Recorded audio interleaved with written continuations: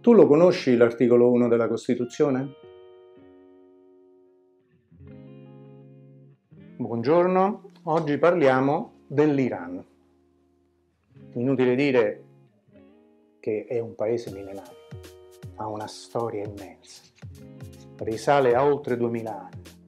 C'erano gli sciiti poi, popoli che hanno attraversato questi territori dando ricchezza culturale, teorica, religiosa, storica, musicale, per esempio.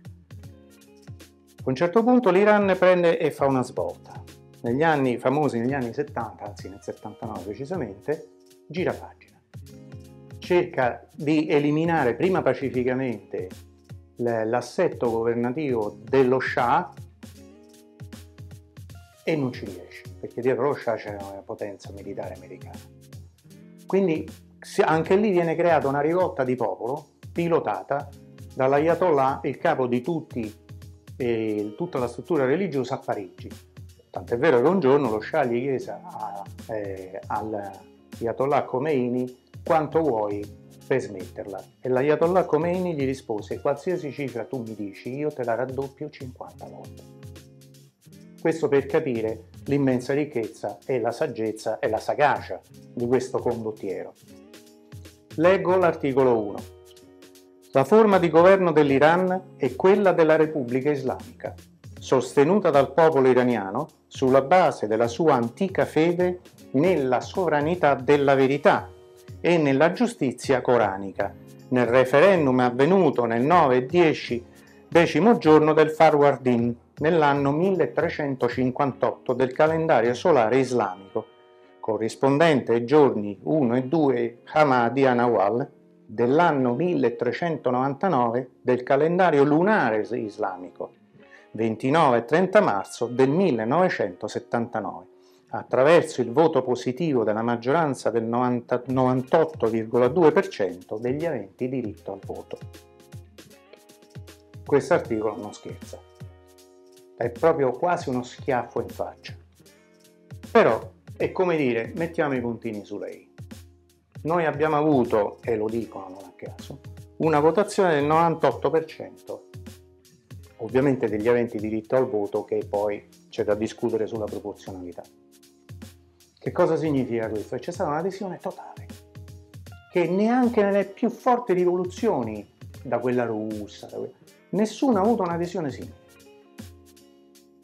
Che cosa succede? che questa, questo popolo antico, questa nazione di rilevanza anche per dimensioni territoriali e per risorse naturali, è un paese da disturbo, crea degli disequilibri in tutto, tutto l'assetto geopolitico. Ma la particolarità di questo islamismo iranico è che viene gestito dagli sciiti e gli sciiti sono la casta sacerdotale del mondo islamico, cioè l'islamismo non ammette caste sacerdotali, ammette il saggio, il muezzin che canta.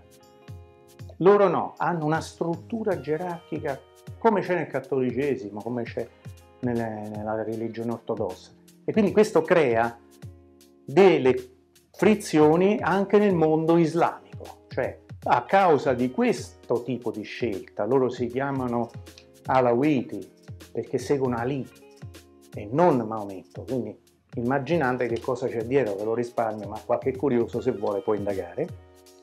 Non riesce a far conferire all'Iran il ruolo di leader mondiale, pur avendone l'intelligenza, l'organizzazione, i mezzi, le risorse, per, a causa di, questo, di questa scissione religiosa che poi diventa anche ideologica.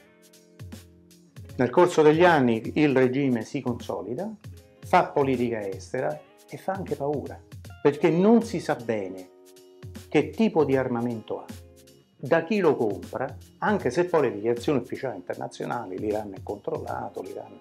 Eh, è, be- un bel punto interrogativo. Diciamo che eh, c'è qualche timida apertura, che io mi auguro, perché comunque è un popolo veramente interessante e che può dare molto anche sul piano della cultura.